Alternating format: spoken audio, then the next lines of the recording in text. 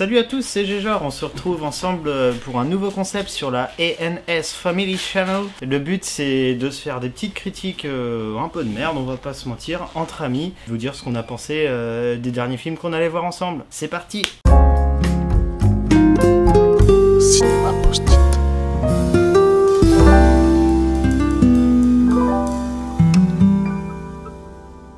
cette semaine, bah cette semaine, euh, Brice 3 quoi. Moi j'ai connu ça avec les petits sketchs euh, qui passaient sur YouTube, je crois. C'était très marrant. Moi j'adorais ces petits sketchs. euh, ces petits sketchs courts euh, qui fonctionnaient bien, je trouve. Ensuite, eu le premier film, j'ai flippé direct parce que je pense que les formats courts c'est bien, mais dès qu'on passe sur 1h30, faut que ce... faut que ce soit marrant quoi. J'ai boycotté le premier film pensant que ça allait être de la merde en réalité.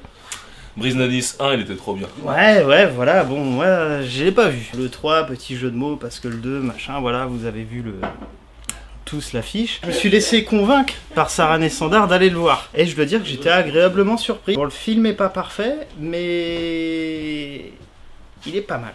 Sur que l'histoire, ils se sont pas foulés. Ouais, sur l'histoire, ils sont pas foulés, mais moi j'apporte un petit mais quand même là-dessus. Ils auraient pu très bien retomber dans la redite du premier. Il démarre un peu comme ça le film. On se dit, oh merde, quand il commence, honnêtement, je me suis dit, oh non, ça y est, ça repart. Le personnage de Brice euh, poussé à fond dans les extrêmes. À chaque fois qu'on pense ça dans le film, d'ailleurs, c'est un truc qui est cool. euh, à chaque fois qu'on pense ça dans le film et qu'il laisse penser ça dans le film, ça redémarre sur un truc un peu plus original, un peu plus poussé au niveau scénaristique. Malheureusement pas assez, mais c'est la bonne surprise ce film-là, c'est qu'il prend un peu le contre-pied des attentes qu'on peut avoir. Ça fonctionne des fois pas mal.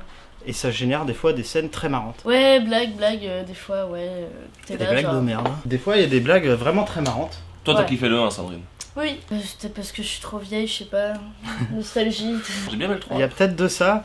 Parce qu'on sent de toute façon qu'ils ont réutilisé quand même pas mal de trucs du 1. Il y a pas mal, j'imagine, de références d'appels de pied au, au premier. L'appel de phare. D'appel- donc moi qui ne l'ai pas vu, du coup, je les ai compris. Euh, donc j'imagine pour ceux qui l'ont vu, d'avoir un côté peut-être un peu redondant. Quoi. C'est plus un côté euh, euh, référence, tu vois, hommage pour moi. Ouais, mais des fois, Il- Parce qu'il est vieux le film, il est vieux Brice 1. Ouais. ouais, il est vieux, mais tu vois, moi je l'ai pas vu. 10 Et ans. pourtant. Ah, 10 ans. Pourtant, les références, euh, je les sens bien passer. J'ai bien compris que Igor Dosgor était l'antagoniste du 1. J'ai bien compris que euh, Clovis Cornillac, je sais plus comment il s'appelle, Marius, Marius. Marius, ouais. euh, était le, bah, le sidekick du 1. Euh, alors que je l'ai pas vu quoi. Ouais, bah ta gueule.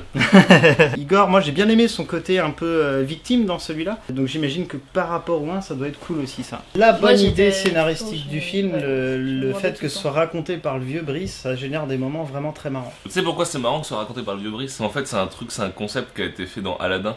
Et je pense que Aladdin, c'était vraiment un super bon film d'humour. Et du coup, vraiment, je pense que c'est une référence à Aladdin. Aladdin, c'est vraiment mais tu veux cool. dire le film de Ouais, le merde de avec, merde avec Kemal Adams. Moi je l'ai pas vu Aladdin donc je sais pas mais j'ai trouvé en tout cas que dans Brice 3 c'était une bonne idée. Au début on se dit what the fuck qu'est-ce qui se passe? Et au, tout au long du film ça fonctionne très bien. Et c'est même le truc peut-être le plus marrant du film. Les interventions du Papy Brice Qui est assez bien fait d'ailleurs.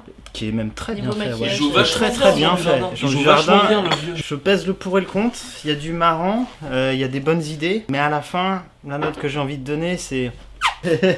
c'est ouais, mon C'est quoi ta ressenti, note? Mon ressenti du film, quoi. Je je le résume en un seul mot, c'est. Les blagues qui tombent à plat, le scénar qui est pas assez poussé. Malheureusement, c'est pas contrebalancé par les bonnes idées. Les bonnes blagues qui sont vraiment très marrantes, par contre, mais il y en a pas assez, quoi. Moi, je lui donne 7. Ah, j'allais dire pareil. Bah, c'est bien 7 Bah oui, Ah, bah, je crois que t'avais pas aimé. C'est une bonne note, mais c'est pas une super bonne note non plus. voilà. Mais le 1, 7 sur 10, putain, moi j'étais content d'en avoir. Ouais, moi aussi, moi aussi. mais moi, tu vois, le 1, je lui donne euh, 8 sur 10, tu vois. Pour moi, il est un peu moins bien que le 1, mais j'ai pris mon pied. Franchement, Là où tu avais raison, c'est que ça m'a donné envie de voir le 1. Euh, Ouais, Sarah me l'a dit avant, tu vas voir, tu vas avoir envie de le voir le 1. J'étais là, ouais, je sais pas. What the fuck, c'est quoi ces pouces-pieds de Clovis Cornillac Ah, bah, ça, c'est le, c'est quoi ce le truc, putain quoi? de truc du 1, ça. C'est quoi ce bordel? J'ai envie de savoir. Bah, malgré tout, je reste sur ma note de sur 10. Un peu déçu quand même. A plus, à bientôt tout le monde pour un prochain film. 行呵呵呵